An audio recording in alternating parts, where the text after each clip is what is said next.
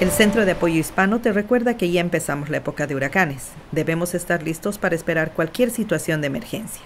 Verifique la zona de evacuación que le corresponde de acuerdo con el lugar a donde vive. Este año algunas propiedades se encuentran en diferentes niveles de zona de evacuación debido a la actualización de los mapas de riesgo. Puedes encontrar tu zona y más información acerca de los cambios en storm.pinelascounty.org.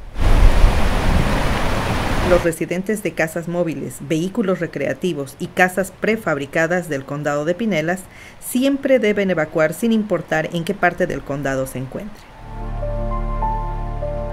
No olvides tener tus documentos a la mano y protegerlos para que no se mojen. Tener un radio y baterías es importante.